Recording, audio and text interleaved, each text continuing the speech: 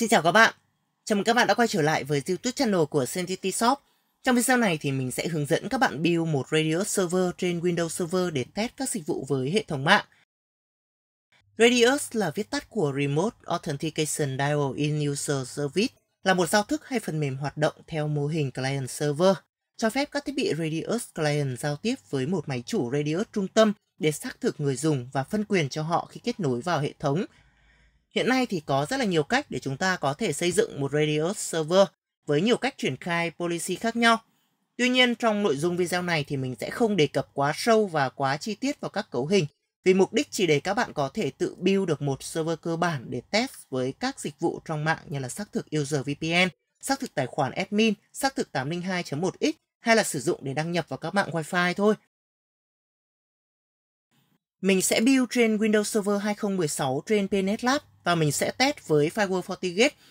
Mình sẽ kết nối FortiGate với Radius server này để sử dụng tài khoản trên Radius đăng nhập vào Firewall. Mục đích cũng chỉ để test kết nối thôi. Còn các ứng dụng thực tế thì mình sẽ hướng dẫn trong một video khác nếu mà các bạn có yêu cầu. Để build một Radius server thì các bạn cần phải xây dựng một uh, Active Directory với một domain được cấu hình, cài đặt Certificate Authority và cuối cùng là cài đặt Network Policy Server. Mình đang dùng giả lập trên PNet Lab nên là nó có hơi nhỏ, các bạn cố gắng theo dõi nhé.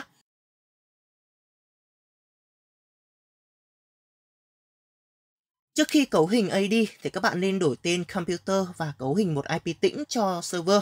Tên thì mình sẽ giữ nguyên là SRV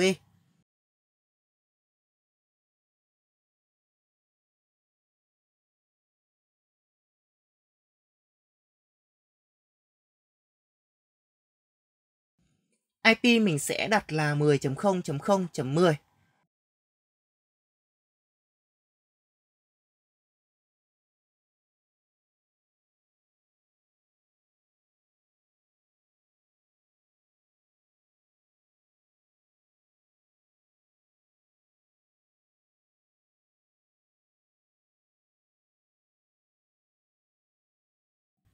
Tiếp theo các bạn kích hoạt role Active Directory trên server lên. Trong Server Manager, chọn Add Role and Feature. Nhấn Next, chọn Role Based Install. Nhấn Next. Trong phần Server Role này thì các bạn tích chọn mục ờ, Active Directory Domain Service. Nhấn Add Features. Nhấn Next. Next Tích chọn Restart Server để server khởi động lại nếu cần. Nhấn Install.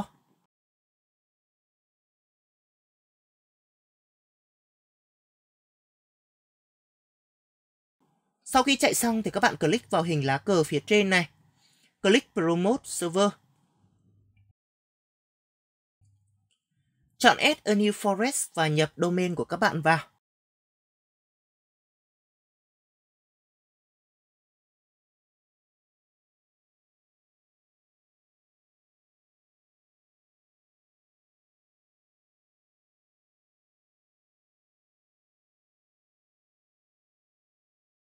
Các cấu hình khác các bạn để mặc định, chỉ cần tạo password cho DSIM là được.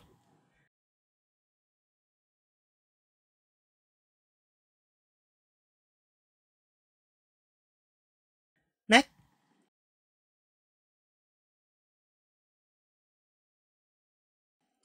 Next.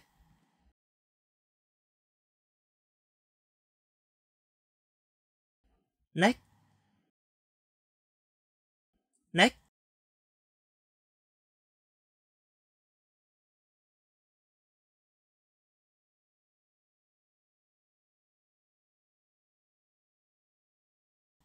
Nhấn Install. Tiếp theo các bạn chỉ cần chờ cho server cài đặt AD và khởi động lại là xong. Mình sẽ tua nhanh phần này nhé.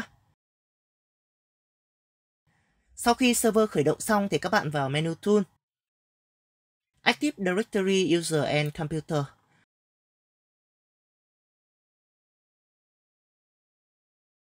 Trong này các bạn có thể tạo các OU tùy nhu cầu hoặc sử dụng các OU cũ. Chỉ cần tạo user và user group là được. Mình sẽ tạo hai IOU cho user và user group cho dễ nhìn thôi.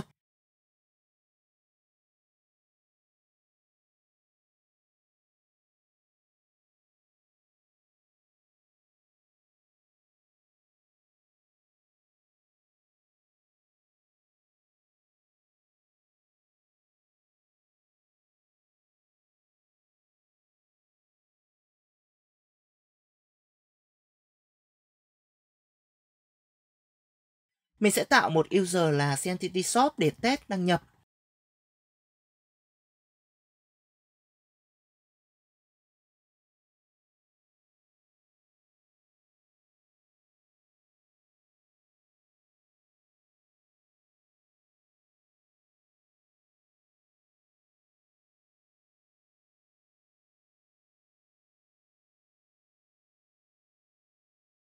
Một group MGMT để nhóm các user quản trị vào.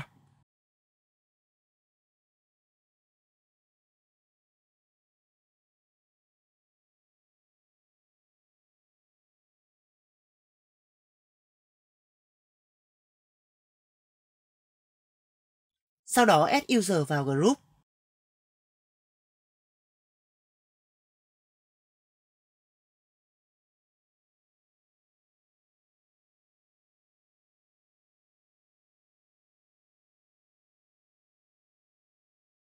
Như vậy là ok. Các bạn có thể tạo nhiều user, nhiều nhóm user khác nhau để phân quyền cho các dịch vụ khác nhau. Trong video này thì mình ờ, chỉ test việc đăng nhập vào firewall nên mình chỉ tạo một nhóm user quản trị thôi.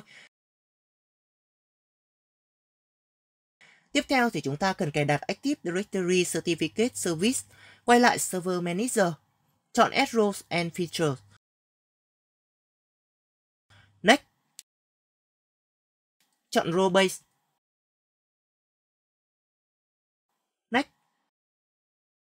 Tích chọn Active Directory Certificate Service.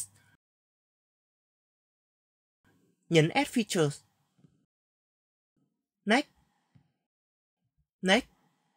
Next. Ở đây, các bạn chỉ cần chọn Certificate Authority. Tích chọn Restart Server. Nhấn Install.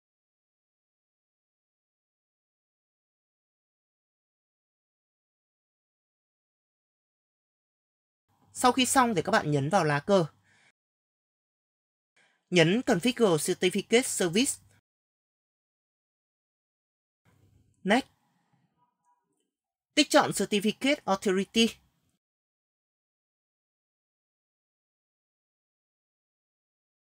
Chọn Enterprise CA. Root CA. Chọn Create a New Private Key. Trong phần crypter này thì các bạn lựa chọn thuật toán nào cũng được. Mình sẽ chọn SHA256. Tích chọn ô Allow Administrator này. Next. Đây là thời gian của CA thôi. Mình sẽ để mặc định là 5 năm. Next. Nhấn Configure Sau khi xong thì các bạn mở cửa sổ run lên.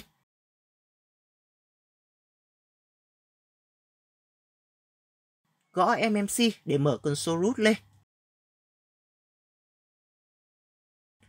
Chọn menu file. Chọn Add Remove Snap In. Chọn Certificates và nhấn Add. Chọn Computer Account. Nhấn Finish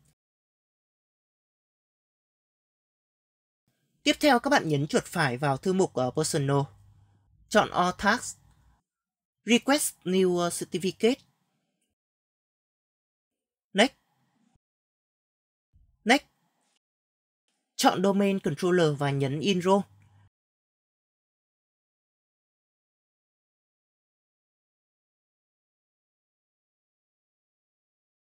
Cuối cùng chúng ta sẽ cài đặt Radius Service lên.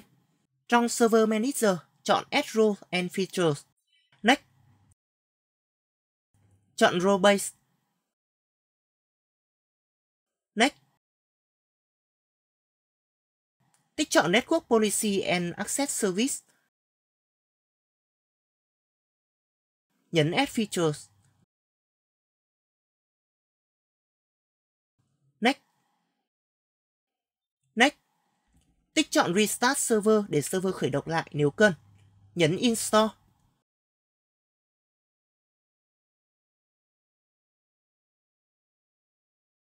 Sau khi cài xong thì các bạn cần cấu hình các chính sách để cho phép các thiết bị kết nối đến Radius để xác thực Các bạn vào menu Tools, chọn Network Policy Server.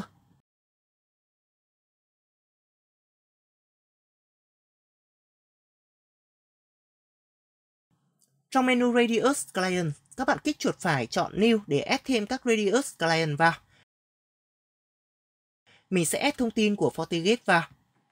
Tích chọn Enable this Radius Client.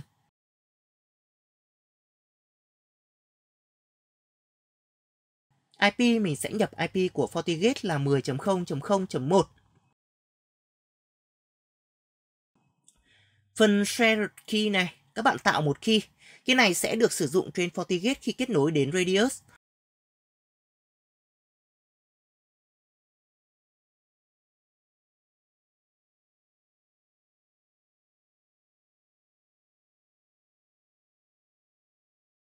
Tiếp theo các bạn kích chuột phải vào Network Policy, chọn New.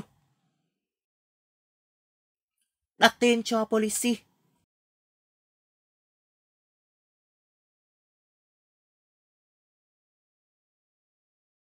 Nhấn F. Trong phần Condition này, các bạn tạo các condition cho kết nối. Có nhiều loại condition mà các bạn có thể định nghĩa. Khi connection match với các điều kiện mà các bạn đưa ra thì các hành động phía sau sẽ được thực thi. Mình sẽ tạo theo user group. Nhấn s Nhấn s group. Nhập tên user group mà các bạn đã tạo. Của mình là MGMT.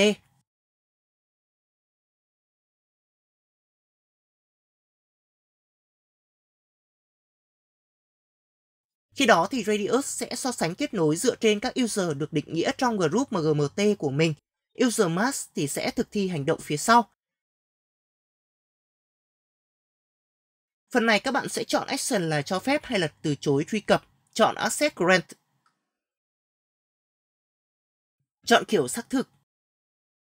Mình sẽ chọn là PEAP. Nhấn Next. Next. Nhấn Finish.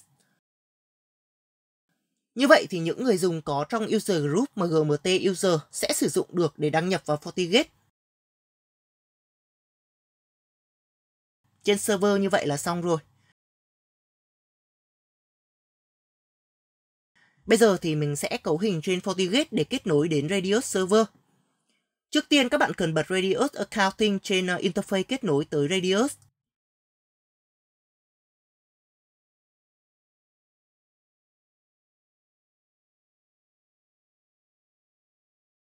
Sau đó thì vào menu uh, User and uh, Authentication. Radius Server chọn Create New.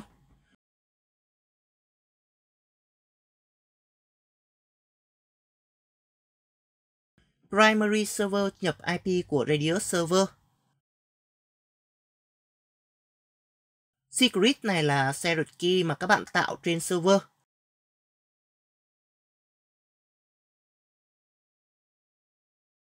Nhấn Test Connectivity. Trạng thái báo successful là ok. Các bạn có thể chọn test user credential để test đăng nhập với user Train Radius. Các bạn nhập user Train Radius server vào và nhấn test.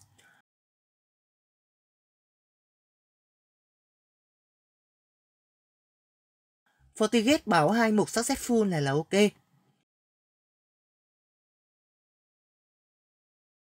Sau khi kết nối thành công tới Radius Server thì các bạn sẽ cần tạo các user group và user. Trong user group thì chọn grid để tạo một group. Type chọn uh, firewall. Các bạn chọn Add Remote Group và chọn Radius Server vừa cấu hình.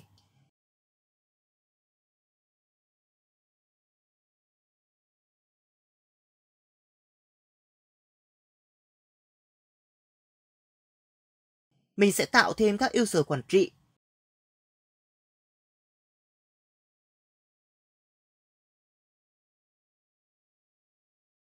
Tên user thì các bạn tạo giống như trên Radius. Type chọn uh, mask or user in uh, a remote server group. Admin profile chọn tùy theo phân quyền của các bạn.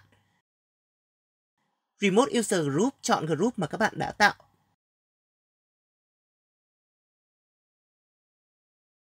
Các bạn có thể thấy loại user đang là remote chứ không phải local, nghĩa là user này sẽ được xác thực trên Radius. Giờ mình sẽ log out ra và test thử.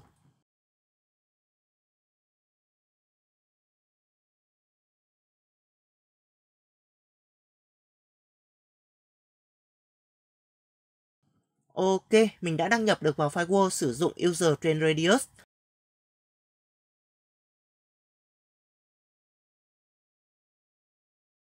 Mặc định thì phần ờ, accounting của Radius được lưu vào đường dẫn này. Nó sẽ lưu ra một file txt.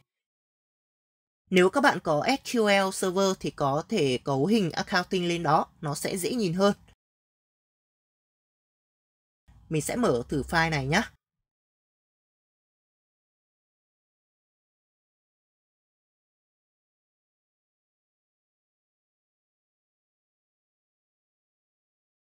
Đây là file log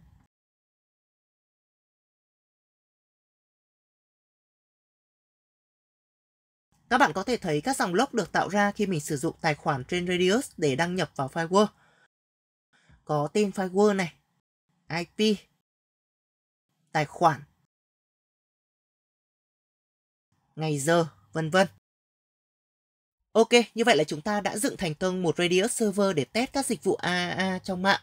Trong thực tế, các bạn có thể áp dụng vào rất nhiều các dịch vụ khác nhau như là xác thực 802.1x trên switch xác thực Wi-Fi, xác thực VPN, vân vân và các cấu hình cũng sẽ phức tạp hơn rất nhiều nếu mà các bạn làm chuyên sâu. Các bạn có thể dựng các mô hình lab trên PNet Lab để test thử. Mình thấy chúng ta có thể dựng khá đầy đủ theo mô hình thực tế.